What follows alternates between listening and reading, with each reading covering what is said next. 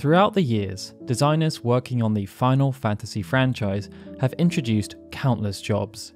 Many have been inspired by high fantasy, granting players the ability to cast magic or play the role of the chivalrous knight. But that's not always been the case, and one such job that's always been a bit more grounded is the monk. Often opting to use their bare hands as weapons, monks have been ever present since their debut appearance, and as the franchise has evolved, so too has the application of monks. It has seen various established traits grafted to numerous playable characters such as Sabin Figaro and Tifa Lockhart, and there have been countless moves and abilities added to help improve their damage dealing utility. It means that when looking at the monk as a whole, even though core aspects have stayed the same, there's also been a lot of change over the years. And throughout this video, we hope to take you on a rather expansive journey as we explore the rather unorthodox path of evolution taken across every single appearance of the monk job. It's quite well known that tabletop role playing games were a source of inspiration for the creators working on the original Final Fantasy, and on that basis, the appearance of Monk as one of the six starting jobs made sense, as it appeared as part of the Dungeons and Dragons Blackmoor campaign as a subclass of Cleric. But what's interesting is that even though some aspects of the job were carried over into Final Fantasy, others were disregarded, and it helped to make the job a bit more original. Now, one of the core elements that made up the tabletop role playing monk class was its loose association with religion. In some regards, this would see them appear as similar to Christian monks, as they would have an alignment with holy, but even though they would have strong proficiency with almost all weapon types, they would also have bonuses when fighting barehanded, as well as strong internal healing abilities and martial techniques, something that made them appear closer to Buddhist monks. When work began in earnest on what would become Final Fantasy, Koichi Ishii came up with the notion of having a party and associated jobs for its members. Akitoshi Kawazu was then responsible for determining which jobs would feature and he was drawn to the monk due to not just its ability to act as another physical damage dealing job, but that it could be made quite unique in comparison to the warrior and thief due to its focus on unarmed combat as opposed to using weapons. However, whereas Dungeons & Dragons chose to use Christians and Buddhist monks as a source of inspiration, Kawazu looked a bit closer to home and opted to model the function of monks on Japanese martial artists. This was evidenced in numerous aspects of visual design, but also with gameplay application, as not only did the monk wear a gi, they also wore a black belt, something that has since gained a strong association with Japanese martial arts. The gi itself was blue, an element that was not as common, but the usage of blue gis had started to become adopted within judo as a way of distinguishing between competitors. With a headband also incorporated into the design, Outside of the gi being blue, as opposed to white, it meant the standard monk design wasn't too dissimilar from the design used for Ryu in Street Fighter, who was based on Masutatsu Oyama, the founder of Kyokushin Karate. Another interesting fact was that even though monks were billed as bare-handed fighters, they could also use staves and nunchucks, and in the case of the latter, nunchucks had a strong association with Okinawan karate and kobudo. It would also often be advised for monks to make use of nunchucks until their fists were strong enough to deal more damage, and that was because their unarmed damage output was based on their character level as opposed to any of their attributes. Monks would also have their defensive stats associated with their level as opposed to the armor they wore, and this was because they were given very high HP and high vitality, allowing them to comparatively gain more HP per level than any of the other jobs. It would be possible to upgrade Monk to the Master Job or Super Monk, as it was known in the Japanese version, but they were almost identical in terms of stats and performance in combat, the only difference being that they gained more magic defense when leveling up. It meant that even though there were no specific moves associated with monks or masters, this all provided a solid foundation, and some of the established traits were present in Final Fantasy II, despite the concept of characters having specific jobs being abandoned. One of the more subtle elements of Final Fantasy II came with the guest characters. Even though they could be moulded just like the main playable cast, many of them came with specific weapons, traits, and attributes that associated them with certain jobs. And in the case of Yosef, it was quite clear that he was meant to be a subtle allusion to the monk. And that was because, upon joining the party, Yosef would come with his bare hand skill at level 2 and would fight unarmed. Further to this, Yosef would have relatively high HP as well as high strength, stamina, and agility, and this counterbalanced his low intelligence, spirit, and magic. Final Fantasy III saw the successful return of the job system, and Monk again appeared as one of the starter jobs obtained from the Wind Crystal. They would again wear a blue gi, which would be accompanied by a blue headband and brown braces, and focus will be placed around them fighting barehanded, with nunchucks available to provide early level boosts. But a few other aspects were adjusted to enhance how the job performed. The most notable was that unarmed damage was no longer associated with character level, as it would instead be tied to job level. Monks also had strength prioritized, but even though they had high vitality and agility, growth was middling in comparison to many of the other physical jobs featured in the game. It meant that Monk had the potential to be useful, but there was little point continuing the job once the black belt became available.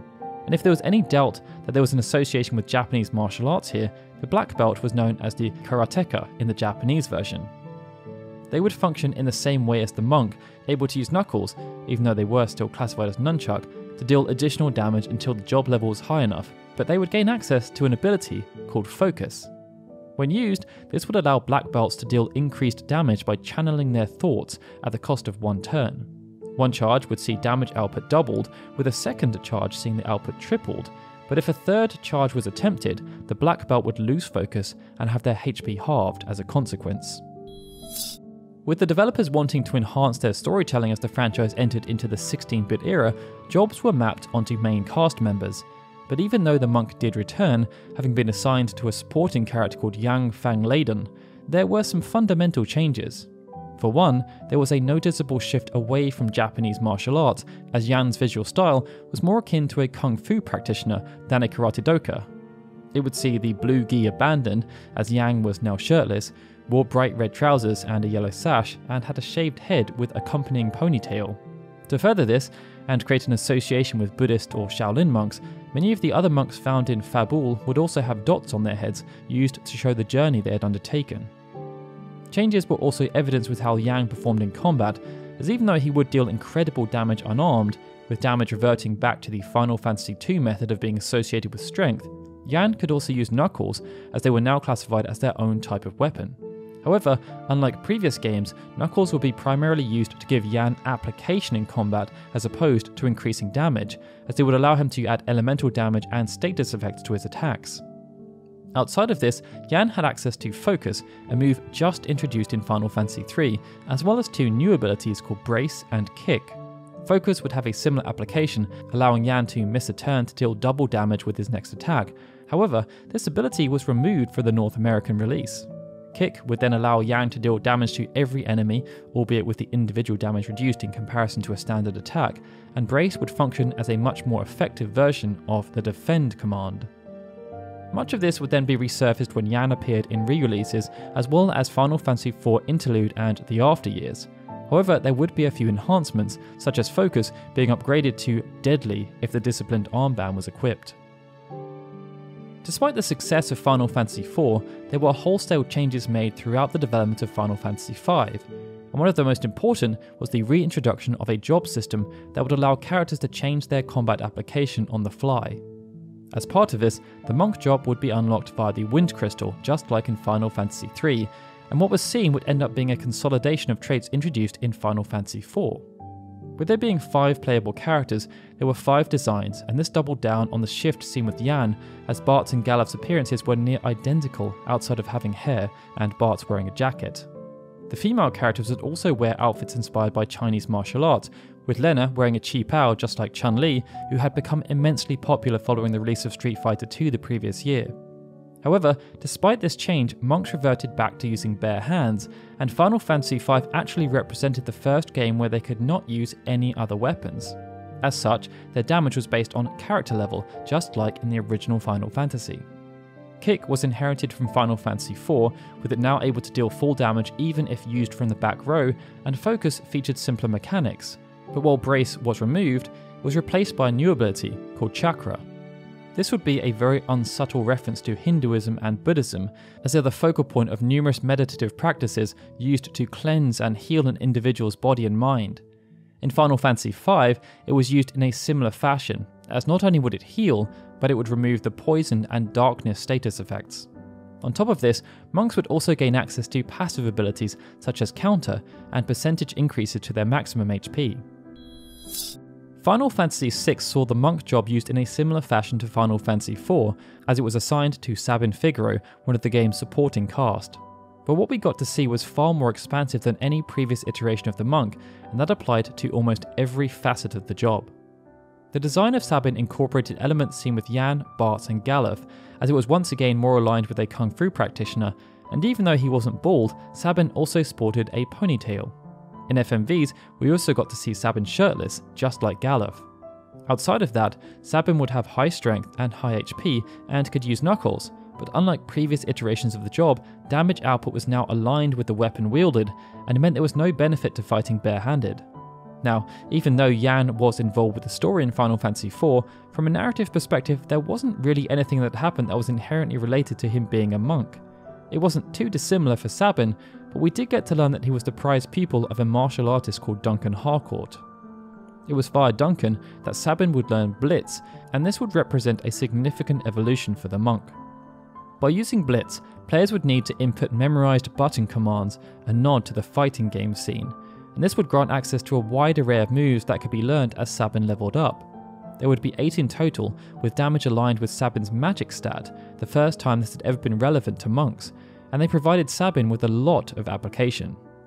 The most basic, Raging Fist, would see Sabin unleash a small combination attack, while Aura Cannon would deal holy elemental damage, bringing back a subtle trait introduced with Yang.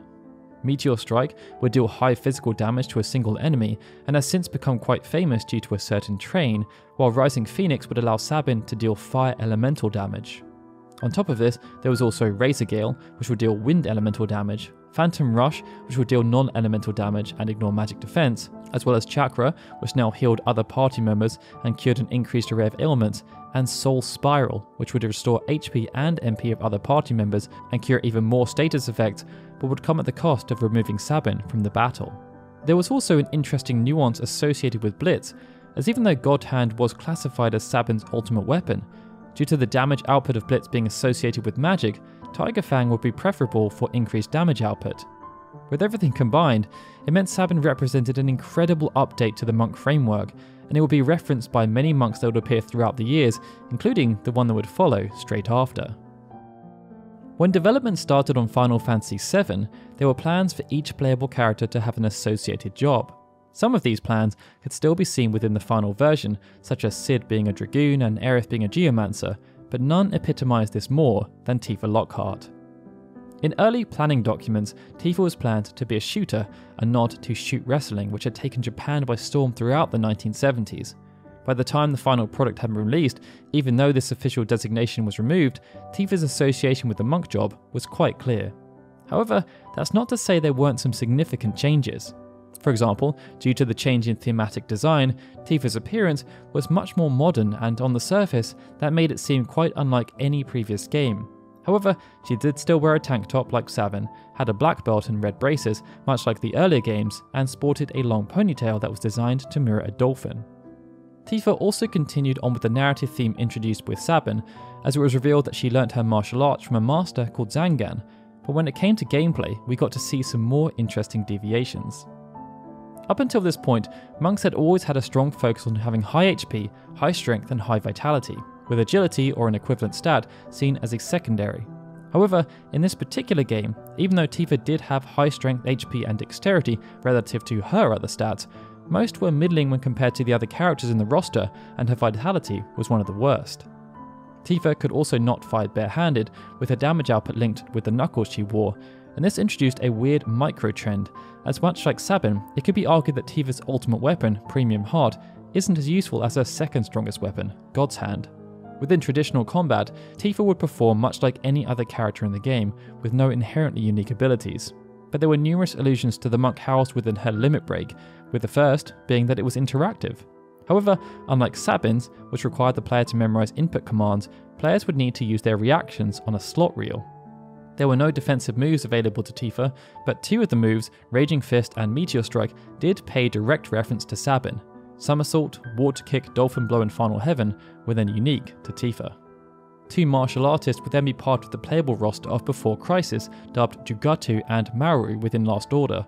They would both have high HP, attack, and defense, and would draw upon Tifa's weapon set to improve their performance in combat.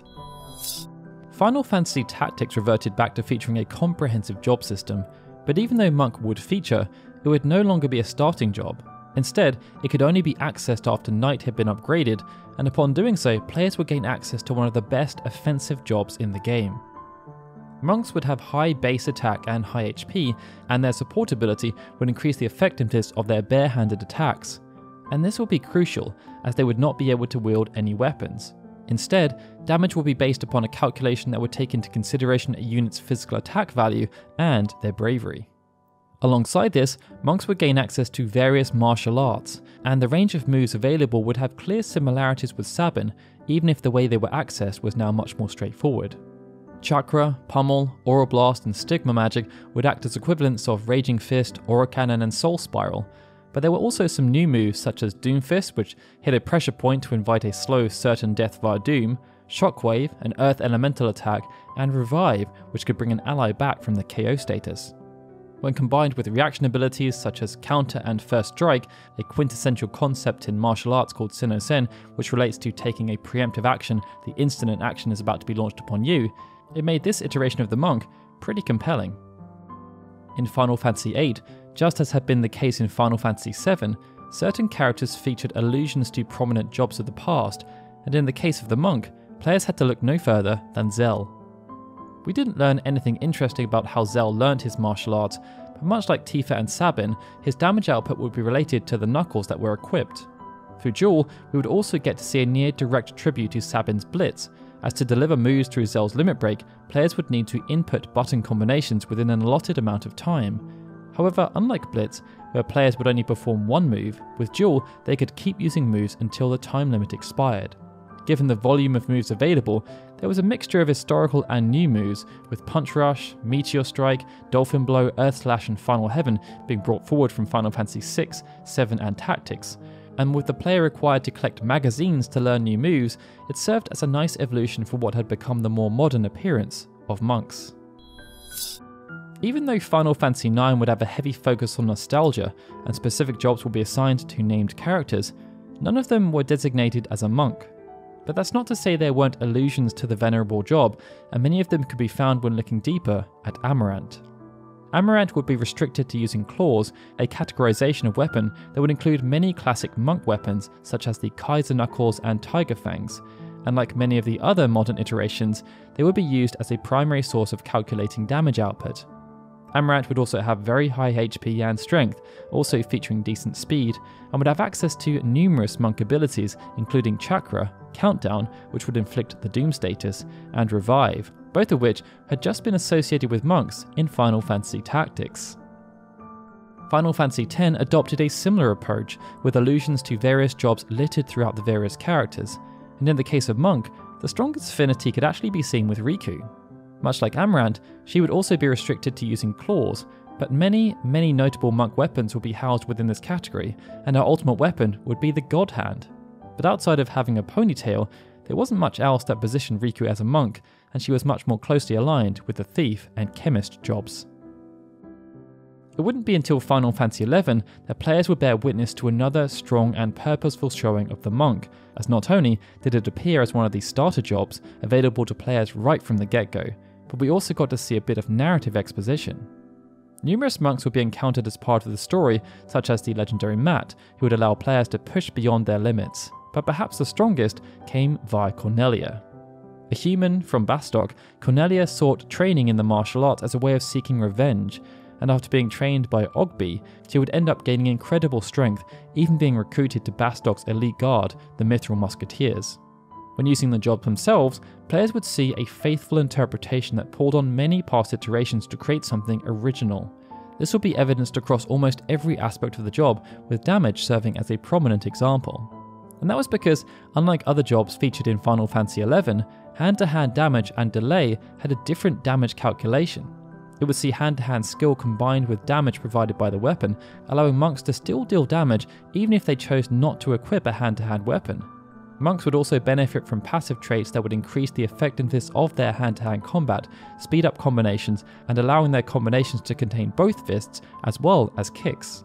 Traits would also include the ability to counter, apply a tactical guard, which kind of resurfaced the brace ability seen in Final Fantasy IV, as well as providing percentage increases to their maximum HP. Outside of this, monks would gain access to a huge array of abilities and weapon skills, which would act as an incredible tribute. This included the likes of Boost, Focus, and Chakra, which would now add auto regen if performed alongside Invigorate, as well as Raging Fist, Spinning Attack, and Final Heaven. And there were also a whole load of new moves introduced. This included, but was not limited to, Key Blast, One Inch Punch, Asuran Fists, Shoulder Tackle, and the Tornado Kick. Monk would next be seen within Final Fantasy Tactics Advance, but its appearance was quite unorthodox, as there was no quintessential monk. Instead, players had access to the White Monk, which had a much stronger alignment to the holy element, and it was exclusive to the Bangaa race. Unlike monks in Tactics, even though there was an emphasis placed on HP, attack, and magic power, white monks had middling stats in comparison to other jobs. They could also equip knuckles as opposed to fighting barehanded, and they would be used to gain access to a variety of moves. Some were pulled directly from tactics such as Whirlwind, Earthrender, and Revive, whereas others, such as Chakra and Far Fist, which was a variant of Aura Cannon, pulled from the job's illustrious past. But due to the Holy alignment, White Monk also introduced two new moves, Exorcise and Holy Sign. White Monks would resurface in Tactics A2, Tactics S, and Crystal Defenders with similar application, and they would also appear as regular monk enemies in Revenant Wings, where they could even use auto regen, much like Amarant. But Final Fantasy Tactics A2 would also introduce another variant of monk, the Master Monk. This was no doubt meant as a throwback to the earliest days of the job, where Master acted as an upgrade for Monk in the original Final Fantasy, and that was the role it played here, acting as an upgrade for the White Monk. It meant some moves were inherited, such as Holy Strike, and others were pulled in to complete the set, such as Lifebane, which could inflict doom, and Inner Focus, which had a similar application to Chakra. The other bonus for Master Monks is that even though they would learn their moves from poles, they would receive a significant damage boost if fighting barehanded. When Final Fantasy XII released, its licensed board system created an experience that was quite similar to Final Fantasy II. It meant that characters could be molded into certain job archetypes, but there was no real steer towards any particular path of development. The consequence, according to Hiroyuki Ito, was that most players just ended up creating six identical characters as it presented the easiest path to victory. And so, when work started on what would become Final Fantasy XII, the International Zodiac job system, Ito decided to make a fundamental change that would see the reintroduction of jobs. Monk was amongst the jobs chosen as part of this reshuffle, and it was associated with Virgo, it would see characters able to fight barehanded or with poles, much like in Tactics A2, and they would be given high HP as well as the ability to learn Brawler and every single battle lore augment, which would see significant increases to their physical attack damage. This would then play in with the damage calculation, which was based on a combination of strength and character level. This would end up being a major defining trait, as there weren't many quintessential monk abilities present within the original game, However, monks would still have access to revive, focus, and swiftness, but none were exclusive to the job. As it was designed as a modern day interpretation of the classic Final Fantasy game, the Four Heroes of Light was built around a pretty comprehensive job system called the Crown System. It would bring back many classic jobs, but even though there was a monk amongst the selection, its utility was completely different it would see the monk have abilities that were more aligned with the necromancer job, as they had the ability to raise their dead allies and even summon an army of ghosts.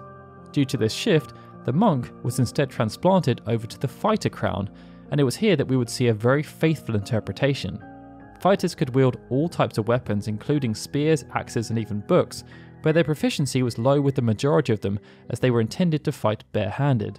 As such, they had a passive trait that would see their unarmed damage boosted based on their strength stat, which was relatively high, along with their HP in comparison to other crowns.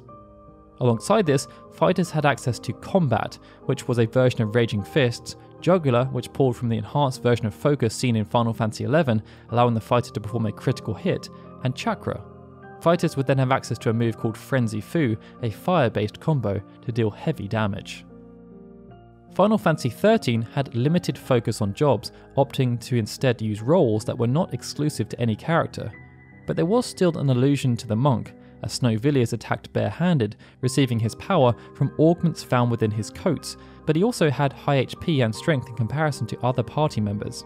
In Lightning Returns, Lightning could also wear the martial monk garb, which had a similar colour scheme to the famed outfit worn by Bruce Lee in Game of Death. It would grant Lightning the soul of the fighter, boosting her HP by 10% and physical damage by 5%, and she would also gain access to the Whirlwind Kick, a nod to the Tornado Kick introduced in Final Fantasy XI. Knights of the Crystals, a spin off game that acted as an extension of the Ivalice franchise, featured a huge array of jobs, and alongside the monk, we also got to see quite a few variants. The basic male monk will be based on Yang, even including the random sword he carried in the Amano concept art, and they would have access to Rapid Fire Fist. Alongside this were the Fire Monk, Ice Monk, and Thunder Monk, each able to perform an elemental punch, perhaps a nod back to Yang again, and the notion of providing utility through the equipping of different weapons. Acting as an extension to Monk, there was the Super Monk, Master Monk, and Fist Master, with the martial artist acting as the most advanced iteration. Final Fantasy Dimensions was designed as a further extension of creating a modern day Final Fantasy experience using traditional elements, bringing that design ethos to mobile devices. But unlike the Four Heroes of Light, it was much more literal with its implementation. It would see Monk available to players as one of the starter jobs, and the individual character designs had a clear similarity to what was seen in Final Fantasy V. Monks would have high HP, high strength, and high vitality, and they would be able to equip claws to increase their damage, with God's hands acting as the most powerful.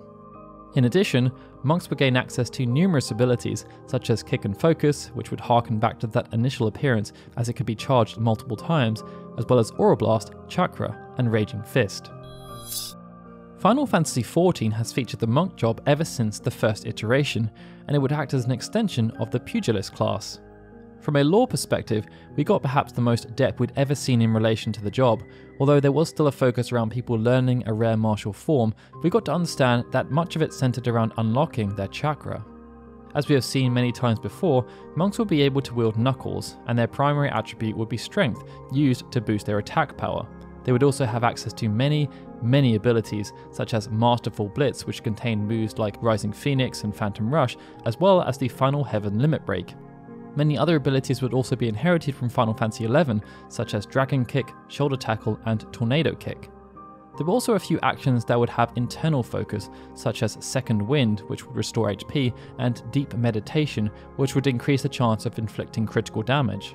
Chakra would then become very integral to the job following a rework thanks to the job gauge, and this would be linked to the monk's ability to perform strong offensive abilities such as Forbidden Chakra and Enlightenment.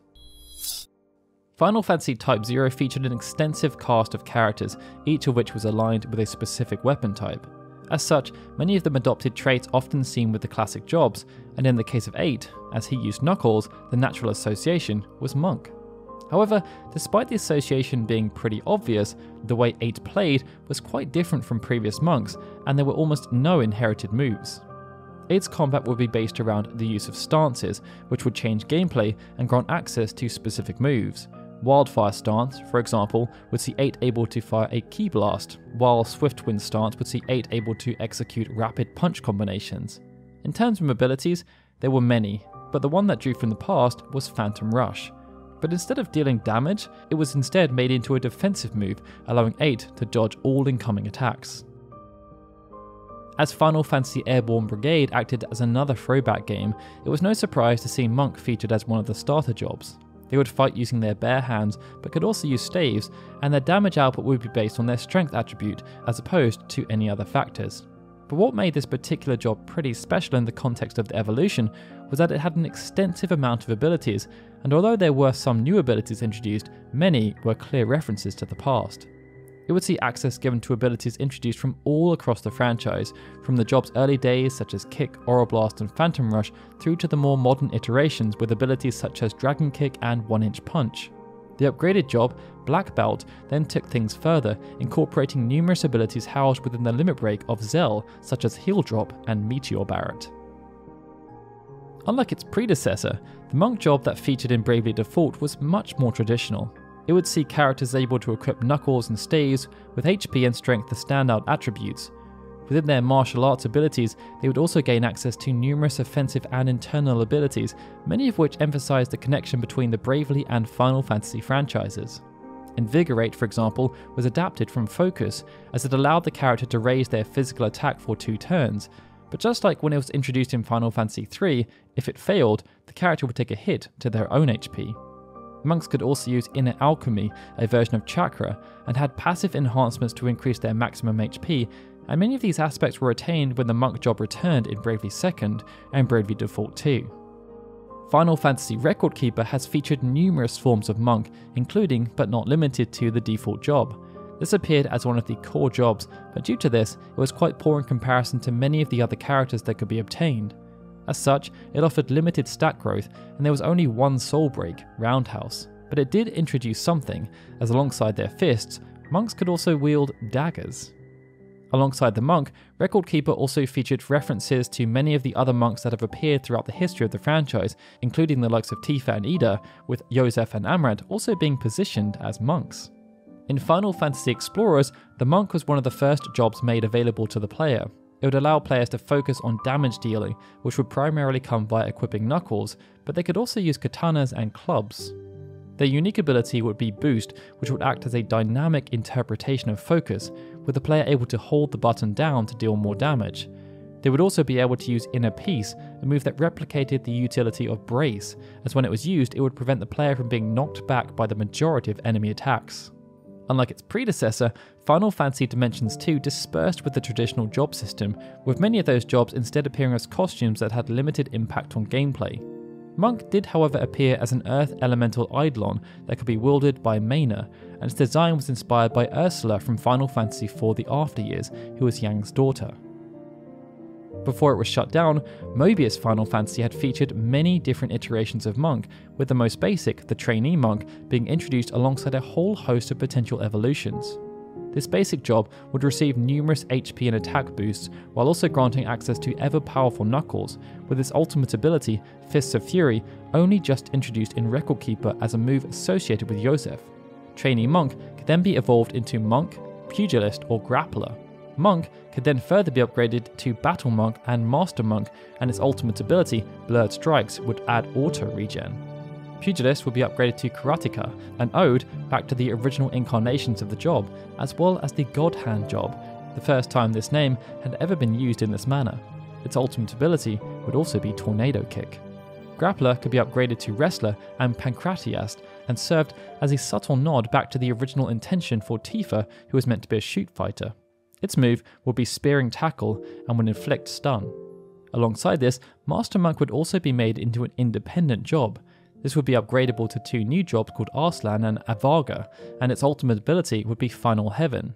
There was also the Hermit, which could be upgraded to Truth Seeker and Daoshi, and plenty of legendary jobs such as the Moogle Suit, Unbroken Hero that cemented the connection between Monk and Snow, Deep Diver, which lent on the Dolphin Association presented in Final Fantasy VII, Vana'diel Monk, which used Asuran Fist as its ultimate, and the Agent of Scarlet Woe, which oddly established a connection between Vincent and the Monk job. Brave Exvius adopted a similar approach, aligning a few variants of the monk job with specific characters such as Gouken, Berg, and Xiao. Combined, they adopted quite a few different traits and abilities. Berg, for example, had a basic ability set that was nearly identical to that used by Yang, as he could use Kick, Brace, and Chakra but by also having a passive 10% increase to HP, as well as Pummel and 100 Fists as limit bursts, it ended up being quite representative. Xiao would also have access to some of these abilities, but would have Counter and Brawler, as well as limit breaks that revolved around landing numerous hits in a flowing combination. This approach would then be adopted within both Dissidia Opera Omnia and War of the Visions Final Fantasy Brave Exvius. Each would either resurface prominent monks from the history of the franchise or introduce new characters that would exhibit monk traits, and it meant that even though the monk was never front and centre, assigned as the job of one of the most important story centric characters, they would still end up being solid representation. And that brings us on to the Final Fantasy VII Remake. Throughout many of our previous videos, especially the Summon Evolutions, we've spoken about how smart, selective, and faithful the developers were when it came to how they presented the updated version of the summons. Many would bring forth prominent design traits from the initial appearance, supplementing with moves introduced as the franchise expanded. But in the case of Tifa Lockhart, the de facto monk in the game, it's difficult to say that the same approach was taken, at least when looking at superficial elements. Within the original game, Tifa had access to quite a wide array of moves within her limit break, and very few of them reappeared within the remake. Instead, outside of Somersault and Dolphin Flurry, Tifa was given access to a wide array of original abilities that would actually bring her much closer to the monk job than her original appearance. Unbridled Strength was, for example, a more modern interpretation of the Focus ability. By using one ATB bar, it would see her increase her ki, boosting the damage dealt by normal attacks and much like some interpretations of focus, it could then be stacked, something that would not only increase damage output further, but would grant Tifa access to an ever increasingly powerful finishing move, much like Masterful Blitz in Final Fantasy XIV. Two of these moves were throwbacks. Omni Strike represented Raging Fist, a move introduced with Sabin that became a recurring ability, and Rise and Fall, which served as a parallel to Beat Rush, Tifa's basic limit break in the original game. And with Star Shower also used to increase the strength of her next executed command, even though Tifa lacked the internal healing aspect of the job, the damage dealing potential was unreal. Now, looking at this evolution as a whole, it's safe to say that the monk has had a rather interesting journey. Even though it has been assigned with well known characters, unlike some of the other jobs we've covered, being a monk has rarely been something that has been character defining, at least in comparison to, say, the numerous paladins and dragoons we've seen over the years. What's quite interesting, however, is that there have been numerous thematic influences, and as developers have attempted to lean further into these, it's led to a huge volume of abilities that have become associated with the job over the years, as well as lots of different visual designs. We've also seen some monks wielding weapons, some fighting barehanded and having their raw strength determine their damage, while others have used hand to hand weapons to enhance theirs.